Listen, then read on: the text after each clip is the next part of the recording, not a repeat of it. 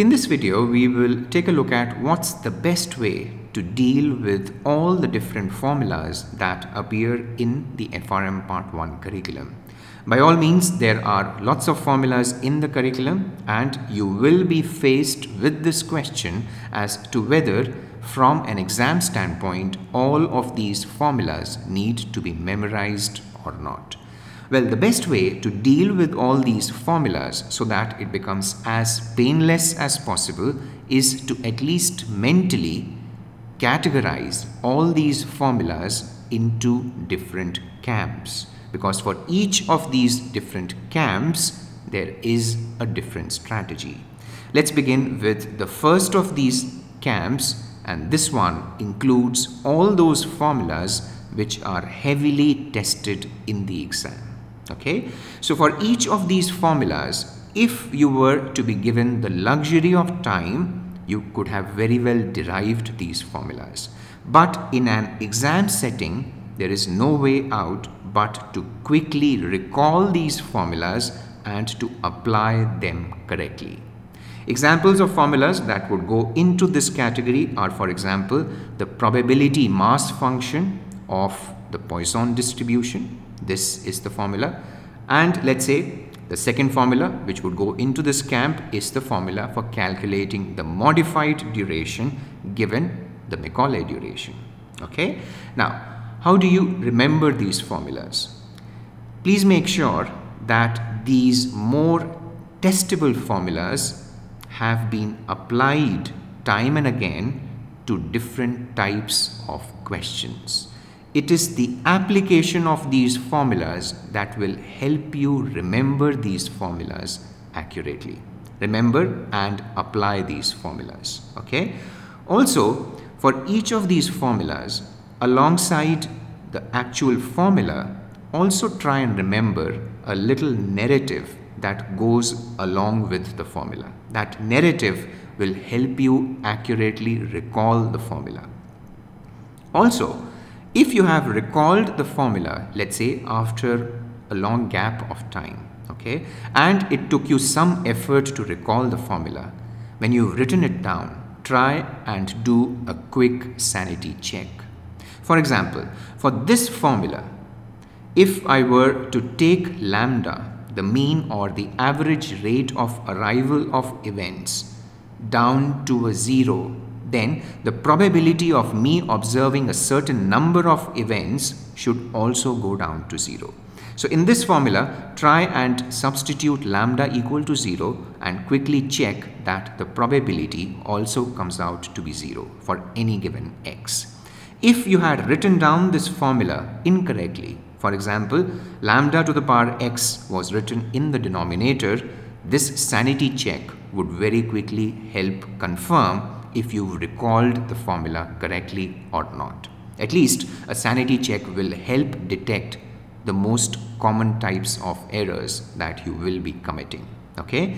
Then another check that you can do on any given formula is to do some kind of a simple dimension analysis. For example, in this formula, in the denominator, you have 1 plus y times tau. If you had just written 1 plus y, then something is wrong. 1 is dimensionless, but y, an interest rate or let's say a yield, has this dimension of per unit time. Therefore, y has to be scaled by a time input before it can be added to this dimensionless quantity which is 1. Okay, so a dimensions analysis also helps in many cases uncover anything wrong in a given formula.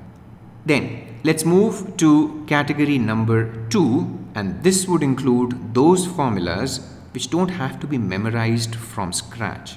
Thankfully, in this category, we are talking about those formulas which share a common template with other formulas that we already know.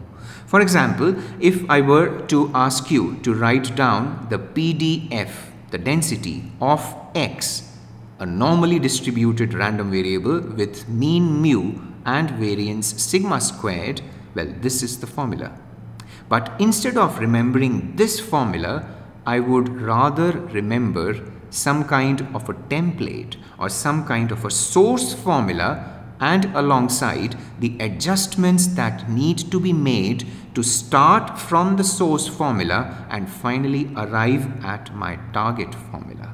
So for example, for this case, I would rather remember the density of a standard normal variable z and this is what the density would look like okay so if I remember this formula and again you can devise your own set of sanity checks for this formula also then if this is my source formula I can make these adjustments to arrive at my target formula so for example, if x is normally distributed, I can write x in terms of z as x is equal to mu plus sigma times z which tells me that z is x minus mu over sigma and I can very quickly start with this formula, replace the z by x minus mu over sigma. Also, please note that the PDF is used to arrive at the probability of a continuous random variable lying in the vicinity of a chosen value. Okay, so for example, lying in a thin strip in the vicinity of a chosen value. So if I were to create a thin strip around z, let its width be dz, then this formula tells me that dz is equal to dx divided by sigma. So the width of the strips is related by this factor of sigma. Therefore, when I write down this PDF, I need to have this sigma sitting here. Okay, so the adjustments required are replace z by this guy, divide by sigma to take care of the difference in the widths. Okay, then let's take a look at another example. If I were to assume that my losses are normally distributed, mean mu, variance sigma squared, I can verbally interpret and write down the formula for the VAR calculated at a confidence level C to be very simply start with the mean and that's mu of this normal distribution, move to the right these many multiples of the standard deviation sigma. The number of multiples depends on the level of confidence. Okay. Now, if I were to ask you, well, I have accepted and digested this VAR formula. What about the formula for the expected shortfall? Again, what I can do is that I can treat this to be my source formula and remember the adjustments which need to be made to arrive at my target formula. In this case, the expected shortfall at confidence level C again can be written to follow the same template and that is start at the mean of the distribution, move to the right this time by these many multiples of the standard deviation sigma. How many multiples? It is actually the PDF of the standard normal distribution evaluated at ZC that divided by the level of significance which is 1 minus C. See, it's the same template. Then, if I were to take a look at these two formulas, this is the formula for the value of a forward contract. This is the formula, the Black-Scholes formula for finding out the, the premium of a European call. Again, you can see both these formulas, they are so similar to each other. Whenever you encounter such formulas which look very similar, try and understand why there is a similarity between these two formulas. Is this similarity because of some underlying reason, some underlying connection? Is one of the two formulas which are so similar to each other a special case of the other formula? If I were to stretch let's say the inputs of one of these formulas, do I arrive at the other formula? If you were to do this quick analysis, it will help you get a much better conceptual clarity around these formulas. Okay, this is camp 2. Now let's come to camp 3. Now this would include those formulas for which the formula is not that important as compared to the process that you use to apply that formula. For example, if let's say I were to write down the formula for let's say you know finding out a conditional expectation I am restricting myself to a discrete random variable okay?